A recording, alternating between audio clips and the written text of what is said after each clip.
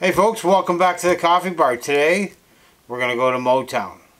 So get yourself a cup of your favorite brew, sit back and put your feet up. Here we go.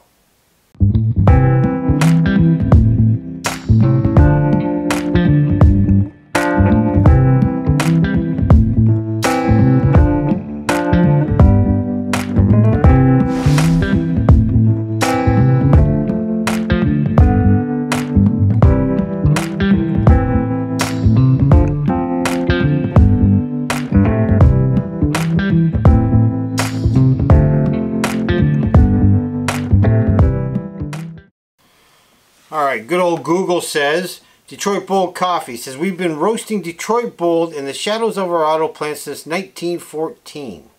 So Detroit Bold has been around for a long time.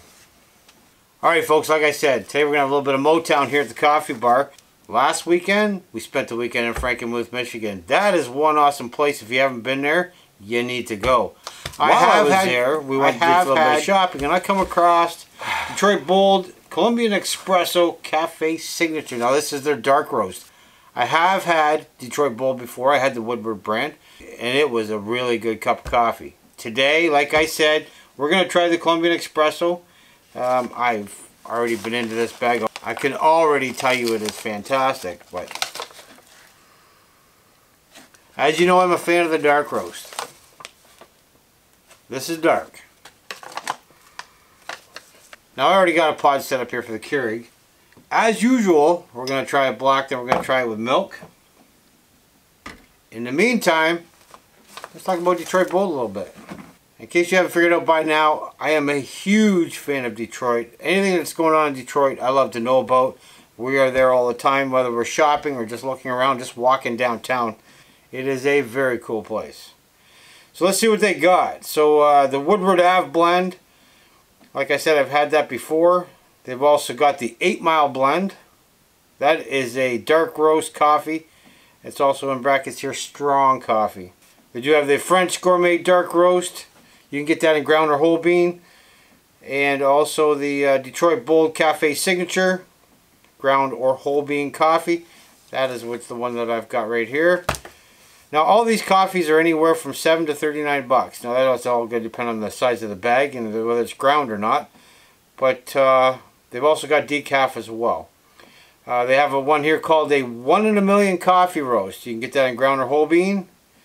And obviously a Christmas roast. Now uh, whether that's only available around the Christmas time or not, I don't know. But uh, seems they've pretty much taken care of a whole lot of things. There's one here I didn't know they had. This one here called Detroit Muscle. That's the mechanic's choice. That's Detroit Bold's, not my saying. And also the Detroit Muscle Garage. Blend unleaded. That is some interesting marketing there. Now, a little bit about the uh, coffee company itself. I tried to find a little bit of history as to when it was started or how the coffee company started. Now, I do recall watching some videos on YouTube about Detroit Bold and the CBO of Detroit Bold. I had never heard of a CBO. I've heard of a CEO, a COO, CFO. I've never heard of a CBO. Let me just read this to you here. Every locally roasted bean is imbued with the hard work, grit, and determination that defines the unshakable spirit of the city that bears its name. That'd be Detroit. Whether you design it, fix it, build it, or clean it up, be bold, my friends. Detroit Bold. And this is signed by A.J. O'Neill, CBO. CBO. Chief Bean Officer. Got a bit of a chuckle when I saw that. Uh, maybe that's an actual title. I don't know. Um, Mr. O'Neill, if you happen to watch this, leave me a comment down below. Is that an actual title? Or if you know if this happens to be an actual title, let me know. Um, didn't mean to laugh at it. Thought it was interesting. Thought it was a little humorous. Anyway, while I'm sitting here gabbing, I guess I should have been making some coffee. Now, simply going off of memory here, I did watch a lot of the uh, online videos that Detroit Bold has, and you're gonna I can't quote them verbatim, but I can tell you that Mr. O'Neill and his company do give a lot back to the city of Detroit. In a lot of media reports, the city of Detroit gets a bad rap. And if you've never been there, don't knock it. Uh, like I said, my, my, family and I travel there all the time because I only live 30 minutes away across the river in Canada, that is.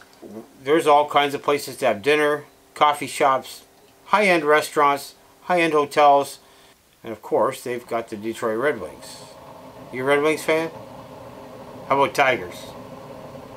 I don't watch football, and I don't think there's too many. Never mind. Also on the Detroit Bold website, it says you can become a coffee subscriber. As a Coffee Club subscriber, you'll receive exclusive discounts and promotions to stay up to date with our upcoming Bold events. You can find Detroit Bold coffee just about anywhere. Not here in Ontario, but just about anywhere. So coffee's done. Let's see what we got. That's nice and dark.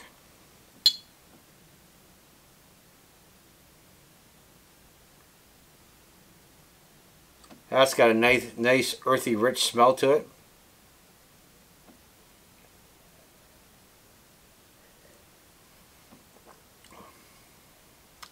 That's not bad black. That's nice and smooth. For a bold cup of coffee, that's nice and smooth. But we got to add milk. Why do we have to add milk? Well, it's kind of because that's what we do here. Not a lot.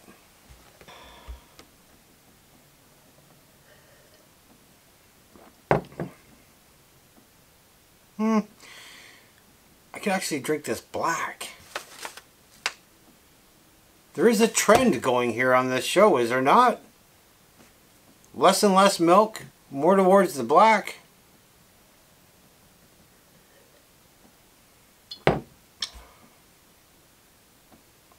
That's good coffee.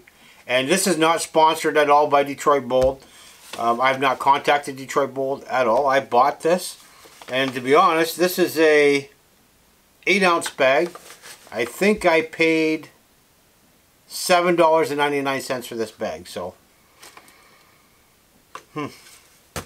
That is some nice quality coffee. We learned a little bit about Detroit Bold.